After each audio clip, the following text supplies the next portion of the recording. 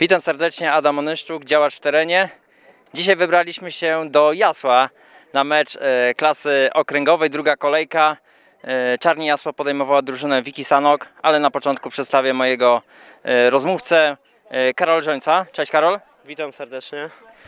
Karol, dzisiaj wygrywacie z drużyną Wiki Sanok 2 do 0. Jak podsumujesz ten dzisiejszy mecz? E, Wiki Sanok bardzo dobra drużyna w tym sezonie. Ciężki mecz, szczególnie, że w pierwszej połowie nie przeważaliśmy, ale graliśmy solidnie i z każdą minutą coraz lepiej i, i, i udało się wygrać. No właśnie, w pierwszej połowie to tak wyglądało i kibice mówili, że trochę ciężary, bo e, graliście, że tak powiem, prostą piłkę z pominięciem pomocy, e, długie takie piłki, no ale one nie przynosiły, e, że tak powiem, skutku, ale w drugiej połowie widocznie trener Was e, lepiej ustawił i więcej było takich sytuacji już.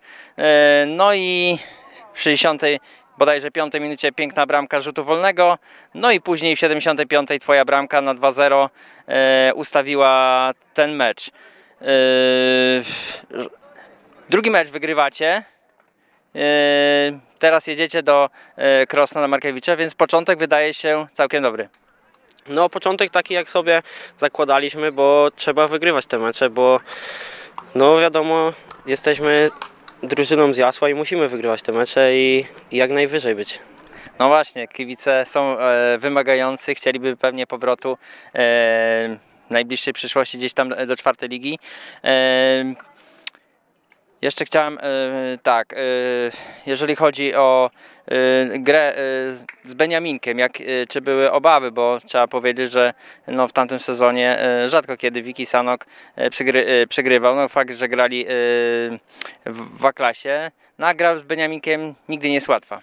No, pierwszy mecz z Bejaminkiem był ciężki, drugi mecz też z Bejaminkiem też bardzo ciężki.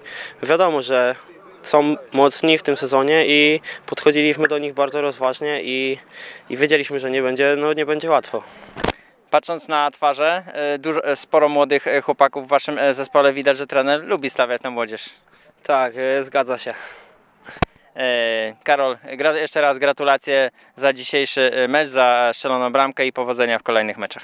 Dziękuję bardzo. Dzięki.